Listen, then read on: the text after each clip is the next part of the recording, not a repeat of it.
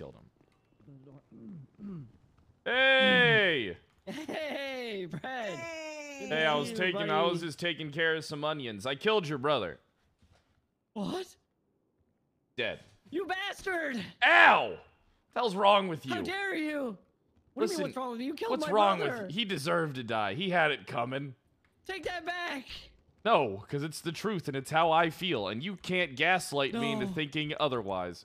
I can't. I can't be the only little man. Yep, you're the only Littleman now. There's only No. one Littleman, and it's you.